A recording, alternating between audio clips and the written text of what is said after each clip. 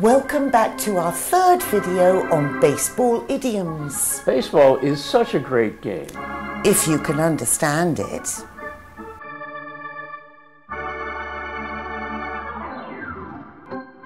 Baseball's really popular in the United States. Everyone loves a trip to the ballpark.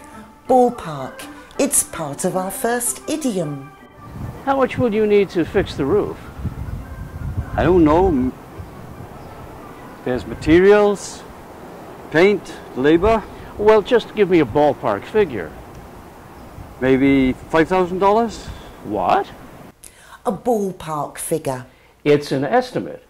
So many people attend a big game that it's hard to count them accurately. So a ballpark figure is a rough estimate of a big number. Yes, baseball crowds are large.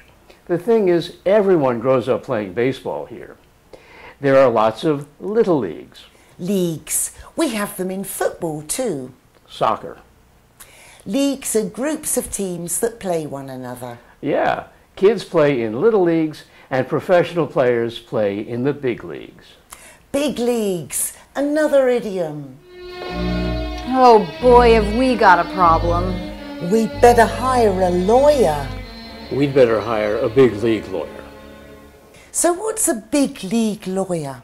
A very important one. They operate at the top level. They know how to play hardball. Hardball? You can play baseball with a hard or a softball. Hardballs are dangerous, so kids learn to play with softballs.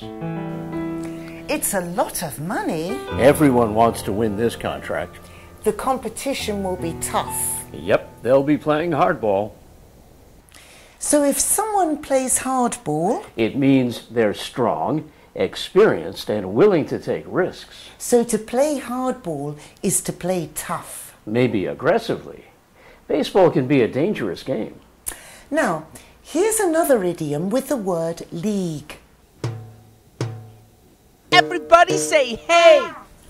What are you watching? Oh, I love this video that Jason made.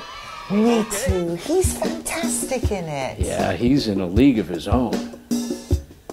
If you're in a league of your own, you're exceptional. Yeah, you're too good even for the top team. Now, statistics are important in baseball, aren't they? Yes, we have batting averages. If a batter has a perfect record for hitting the ball, they get a batting average of a thousand. I've been reviewing everyone's sales figures. Vicki, your results are excellent. Thank you. You've been our top salesperson every month this year. You're batting a thousand. Batting a thousand. Now, Jay, It's been a difficult year for me. I can see that. You're in a slump. So, batting a thousand. That's the maximum possible. You can't do better than that. And if a batter is in a slump, Their statistics have been very bad. okay, it's time to stop. But we hope these idioms will help you bat a thousand. And come back soon, and we'll have another baseball idioms video.